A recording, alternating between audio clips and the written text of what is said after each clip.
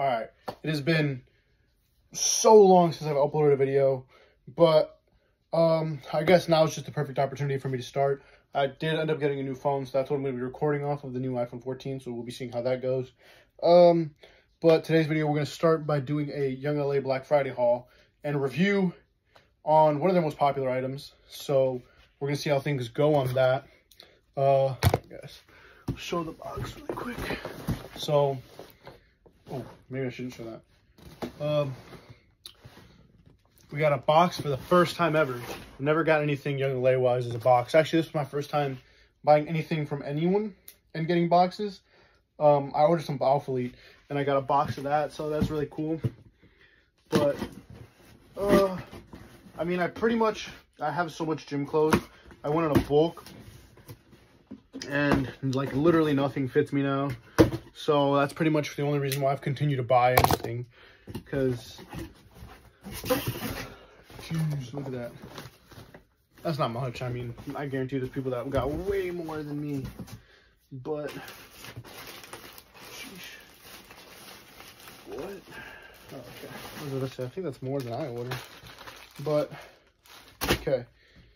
Uh, so, got, I think, five items, six items. And pretty much all of them are the same thing except for one thing. So I guess I'll start with the one thing that's unique. Which I think I was actually literally wearing in a different color. Which is, uh, I think it's called the, does it say on here? It does not say it on here. But it is pretty much my favorite t-shirt that I've bought from uh, Young LA. It's pretty basic. I think this might have sold out like the last time they dropped it. The first time they dropped it though, I was able to get a couple of them. And I really like this shirt. So I had to get it in blue. I've got it in black, navy blue, um, black, navy blue, and orange, and a different version of a blue. And then this is the one blue I really wanted.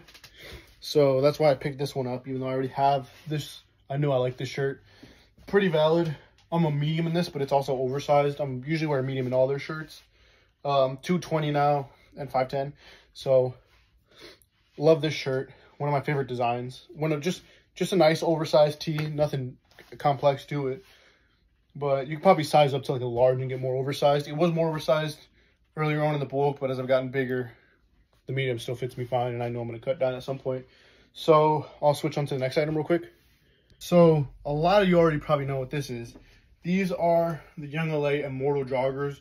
Probably one of their most popular items of all time they have dropped this thing like three times, four times now, and I've never been able to get my hands on them till now. And I was able to pick up um, the original colors because they did a restock on Black Friday and they added some new colors. I was able to pick up black, brown, navy blue, uh, purple, and green.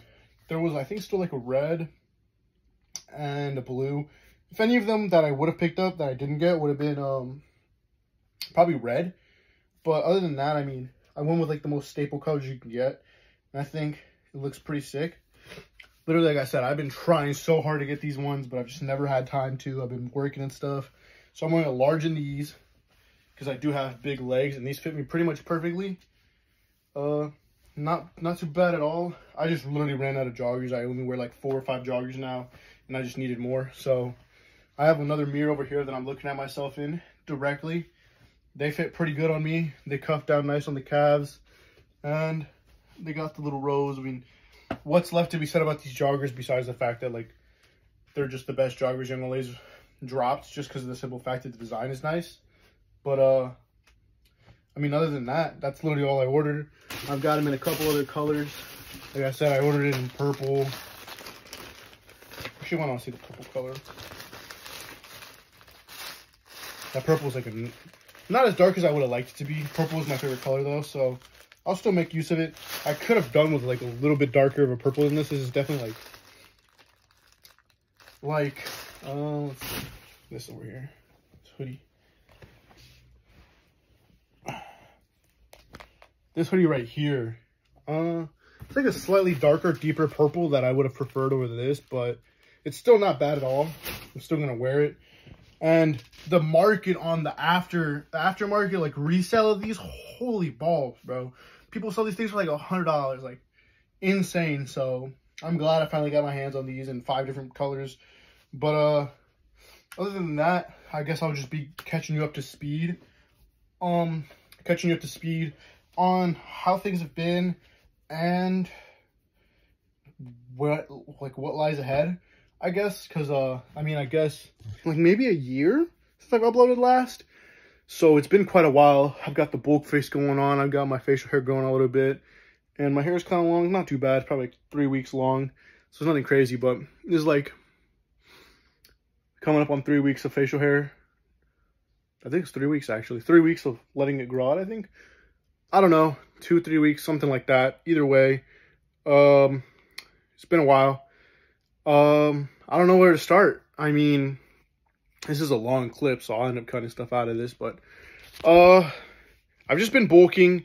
I just got really sick of being plateaued, you know. I was stuck at 175 body weight for like 2 years nearly, couldn't gain anything on my bench, couldn't gain anything on uh anything, dude. Couldn't get anything on deadlift, bench, squat, didn't gain any weight, wasn't looking any different. I was just fed up of looking the same and just never making progress. So, you know, uh, instead of going down the not natty route, I decided to just finally go on a proper bulk. And I've gone up about 50 pounds in weight. Um, it is definitely something that's trickier to do per se. And not in the sense that it's, it's a difficult, well, it is a difficult process. I wouldn't say it's not difficult. But I think the mental aspect of a bulk is definitely way more mentally taxing than it would be anything else. Like, I guess obviously when you're cutting, you definitely are going through a mental state of like suffering, I guess. But you got to think like mentally for people, most people already have body dysmorphia. So just imagine the process of actually gaining weight and seeing yourself look worse. Like, it definitely sucks. And it's like one of those things where it's like, there were so many points where it's like, I just want to give up and just go back to cutting. But, uh, not going back to cutting, just cutting back down and just staying where I was at.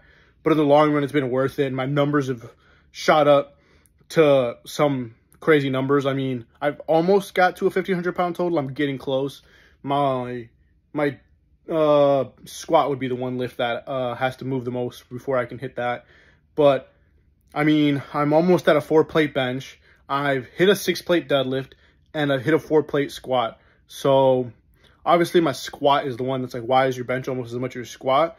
Well, that would also be the fact that I didn't squat for good part of like a year, maybe year and a half, just not actually trying on squat just because I was roofing and my knees were just getting blown out. Actually, just being on my knees all day roofing. So, uh, I didn't squat for a while, but I stopped roofing, so my body's been able to recover. I stopped roofing once my, my shoulders really just started getting toasted, dude. Like, it was to the point where I was benching so much. And then the fact that I was, like, all putting on my weight, like, holding myself up while I was, like, shingling and stuff, it just really started to destroy my uh, upper body, and it was just getting really bad. So uh, got out of that, and uh, now my body's way healthier. I squat pretty consistent now. I deadlift all the time, and I bench like literally like nobody's business. And I have just been not doing anything on YouTube. I've just been really lazy, and I should be because now I don't have an excuse. I have a phone uh, that's just better quality and way more space so I can record. Because I think that's why I stopped actually recording was because I ran out of space on my other phone. So uh, that's pretty much really actually been wise. My other phone ran out of space, and uh, I just couldn't delete anything because it was just like all old PR videos and just pictures of me. Uh, so that's where things have been. That's where I have been, and I've still probably got a couple more months in this bulk. I'm not gonna lie, uh, and it's it's been over a year. Yeah, I've been bulking for a long time. You know, this isn't like oh I bulked for like three or four months gain like 10, 5 pounds or whatever. Like I've been bulking for like over a year now. It is really, like I said, sucks because like I hate seeing my face like look as bloated as it does, being as bloated as I am. Like it's nice going up in weight, but when it's like, and like pushing more weight around, but the fact that I have to like buy so much new clothes, cannot wear like anything I had before because it's all like skin tight and like I have a gut now. So it's like, it's just not flattering to my physique. Like, yeah, my chest is bigger. Yeah, my arms are bigger. Yeah, my delts are bigger. Yeah, my legs are bigger. But it's not like, oh my God, I want to show off like my shredded six pack through my shirt. Like you can see it hugging onto me. Like, no, it's like you just don't look good in in tight clothes, so you just don't want to wear anything. So like I got all these extra, extra, extra larges and all this like oversized clothes just to like kind of hide my physique from people. But I mean, at the end of the day, as a natty, you it's just like literally like all you can do. And I don't care like what shit you hear online. It's like don't bulk, don't do this, main game, blah blah blah. As a natural, you can hit a plateau where if you don't bulk, you're never gonna get anywhere. And why would you not want to try? You know, like I mean, I guess like I said, it's really mentally taxing to just see yourself kind of diminish. But as a natural and as just in general, like you should always like want to try new things. So obviously, like maybe it's not for everyone, and like it does suck having to spend as much money as I do and having to see my body look the way it does. But it's also a different experience than always walking around like lean. Like I was always lean, and this is the first time I ever went on a bulk. Yeah, it sucks, but at the same time, I know the payoff when I finally cut. Because I'm telling you now, I can well say I've gained at least, and I'm being conservative, at least five pounds of muscle. And that for natural is really good with nothing needed. Like I don't take protein. I don't take creatine as like ever. Like I did for a little bit and I stopped taking creatine. I was taking supplements, but I stopped. Like I don't take anything. So like the amount of just raw size I probably put on for like just you know, I eat what I should be eating, but I don't take the supplements I probably should be taking. Like creatine obviously is a help, big help, and protein. I mean, I probably eat way more than I need to in protein, so that's not a really big deal. But I'm just saying like the amount of things I could do slightly better to add maybe a little bit more is there. But just being on this bulk alone, I'm telling you, I know it's going to be worth it when I cut. And I know I'm going to look good when I cut. I still have to hit my numbers. I still want to hit a 1,500 pound total. And then uh, my goal from that point on would be stop powerlifting and then just completely focus on my weak points on my physique, which would happen to be my arms are bigger, yeah, because I'm on a bulk and I've probably gained a little bit of size on them regardless but I want to train my arms more. I want to hit my rear delts better. I want to hit um I want to grow my chest a little bit better because when you focus so much on bench, you're not really getting hypertrophy and building up your chest the way it should be built. So even though my chest is strong, it's definitely not as built as it could be. So I do want to just focus on just building some raw mass and staying in the bulk after I hit my numbers, like staying in the bulk for just a couple more months. And then after that, I'll probably cut. But my issue with cutting is I like I'm a cardio addict, so like the second I get onto a treadmill, I just want to push myself to like my limit, and I know that I'll probably cut way too fast. So my limit is just to be trying to make sure I don't overdo it and lose muscle in the process because if you don't know, if you go in too great of a deficit, instead of just losing like yeah, you're to lose fat obviously, like you're to lose weight, but you're to also start to chip away at that muscle because you're just in such a great deficit. So it's like you got to do it in a timely manner, which is why you see all those competitors lose weight over like 16 weeks, 12 weeks, 14 weeks, and they all don't do it in like three, four weeks. Like they they they just do it really slow so that they can just slowly get away from the fat and can keep as much muscle as they can. So that's the goal. Is I'm gonna try to make it a decent like like I, like I said, it's hard for me to just even think about trying to lose it weight slowly because I know once I get on that treadmill, the problem with me is going to be trying to stay in the pocket. You know, like some people go for PRs all the time and like overshoot their numbers all the time. That's me, but like with cardio, like I just always want to go until I can't. So um, that'll be my issue is just trying to make sure I don't lose weight too fast. But we'll see. We still got a couple months out from that. But um, I might do a workout in this video. We're about to see. You can see how I feel if I feel like recording today or not. Because today is a bench day. I might. I'll see. If not, this might be the end of the video. And if it is, then I'll see you in the next one. But if it's not, then I'll see you in the next clip. In the shinobi world, it's not how you live, it's how you die. The shinobi's life is not measured by how they live, but rather it's measured by what they manage to accomplish before their death. And looking back, my life has really been full of nothing but failure. It's almost unbearable, isn't it? The feeling of being all alone. I know that feeling. I've been there, in that dark and lonely place. But now there are others. Other people who mean a lot to me, and I won't let anyone hurt them. That's why I won't ever give up. Because people called me a failure. I'll prove them wrong.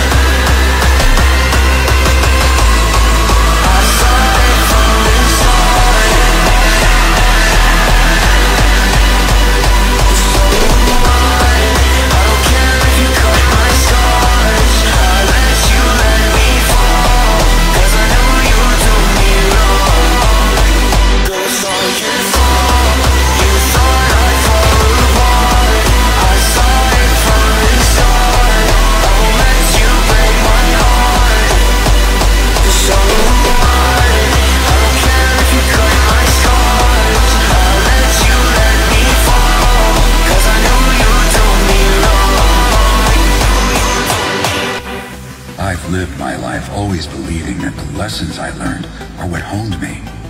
I swore I'd accomplish a deed so great that it would obliterate all my failures. I'd die a splendid shinobi.